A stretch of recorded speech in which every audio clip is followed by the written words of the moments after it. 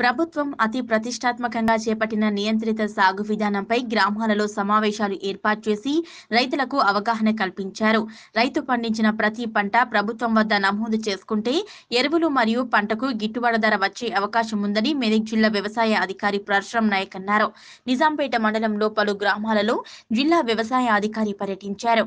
మండల వ్యవసాయ అధికారి సతీష్ తన సిబ్బందితో గ్రామాలలో క్షేత్రస్థాయిలో పంట పొలాలకు వెళ్ళి రైతులకు వివరాలను పంట వివరాల సేకరణ కార్యక్రమాన్ని నిర్వహిస్తున్న పనులను జిల్లా వ్యవసాయ అధికారి పరిశీలించారు. నిజాంపేట మండలంలోని పలు గ్రామాలలో పంట నమోదు వివరాలను జిల్లా వ్యవసాయ అధికారి పరశురాం నాయక్ పరిశీలించారు. అనంతరం ఆయన మాట్లాడుతూ రైతులు పండించిన పత్తి పంట నమోదు చేయడం ద్వారా రైతులకు కావాల్సిన ఎరువులను అందుబాటులో ఉంచటం మరియు పంటకు గిట్టుబాటు ధర వచ్చే విధంగా ప్రభుత్వం చర్యలు తీసుకునే అవకాశం ఉంటుందని ఆయన తెలిపారు. ఈ కార్యక్రమంలో జిల్లా వ్యవసాయ అధికారి పరశురాం నాయక్తో పాటు మండల వ్యవసాయ అధికారి సతీష్ వ్యవసాయ విస్తరణ అధికారి దివ్య స్థానిక సర్పంచ్ అనుష లక్ష్మీ నరసింహులు రైతు బంధు సమన్వయకర్త రామచంద్రం వివిధ గ్రామాల రైతులు పాల్గొన్నారు.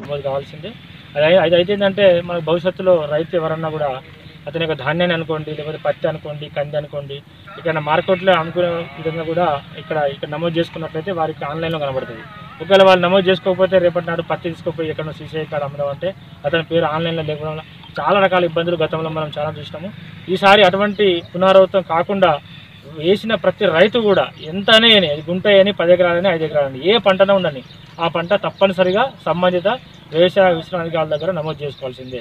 అట్లా నమోదు చేసుకోవాల్సింటే ఇప్పుడు ఏమవుతుందంటే మనకు భవిష్యత్తులో ఎక్కడన్నా ధాన్యం కొనేటప్పుడు కానీ ఎక్కడ మార్కెట్ చేసేటప్పుడు కానీ మనకు ఆన్లైన్లోనే కనబడుతుంది కాబట్టి ఆ గత అక్కడ అధికారులు కూడా ఎవరు ఇబ్బంది పెట్టే అవకాశాలు ఉంటాయి కాబట్టి ఈ యొక్క మెసేజ్ గౌరవ ప్రజాప్రతినిధులు సర్పంచులు మరియు మా రైతు బంధు సమన్వయ సమితి వాళ్ళు మా అధికారులు అందరికీ కూడా విస్తృతంగా గ్రామాలలో పర్యటించి మరి అందరికీ కూడా సమాచారం అందించి ఈ వారం రోజులలో మండలంలోని ప్రతి గుంట కూడా మరి వ్యవసాయ విశ్రాంతిగా నమోదు చేయాల్సిన బాధ్యత అందరి మీద ఉంది.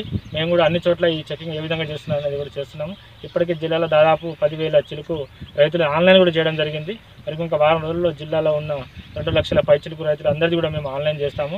ఎందుకంటే ఒకసారి ఆన్లైన్ చేసిన తర్వాత మనకు ఎరువుల వినియోగం అనుకోండి విత్తనాల వినియోగం అనుకోండి తర్వాత ధాన్యాన్ని అమ్ముకునే విధానంగా అన్ని విధాలుగా మన ఆన్లైన్లో ఉంటుంది కాబట్టి ఎక్కడ ఎటువంటి సాంకేతికపరమైన ఇబ్బందులు కూడా రాకుండా ఉంటాయి కాబట్టి ఇందులో మా వ్యవసాయ విశ్రాంతికారు కూడా మరి ఎప్పటికప్పుడు రైతులు ఏ రైతును కూడా వదిలిపెట్టకుండా ప్రతి రైతు యొక్క కార్య మొత్తం అందరి పేర్లను కూడా వారి యొక్క పంట విధాలను ఆన్లైన్లో నమోదు చేయాల్సిందిగా అందరినీ కోరుతున్నాను